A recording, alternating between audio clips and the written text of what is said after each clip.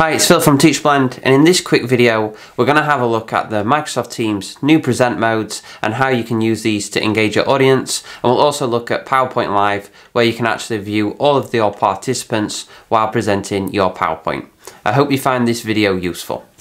Let's have a look at the fantastic present modes in Microsoft Teams meetings. So I'm going to click the share button here and then what I can do is I can choose my presenter mode. I'm going to choose content only for this first example and we'll work through them.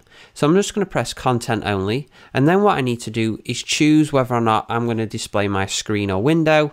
I'll just display my window for this example you'll see now that the students will see me inside of Microsoft Teams meetings on the right hand side in the view we're normally used to.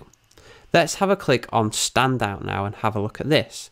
Here you'll see that what I'm actually doing now is I'm overlaid over the content. I'm then going to use the side by side and in this option you'll see I'm actually side by side with the content for students so another really nice way of presenting. And then finally, we've also got the reporter mode where I'm a little bit bigger and the content's in the back. So some fantastic ways to present to learners.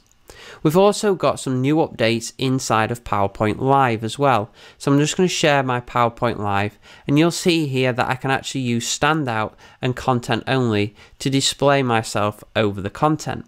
I can also do things such as translate slides for learners, and students can also do this themselves as well. You can also change these back to various different languages throughout your PowerPoint. You can use laser pointers, highlighters, and erasers as well.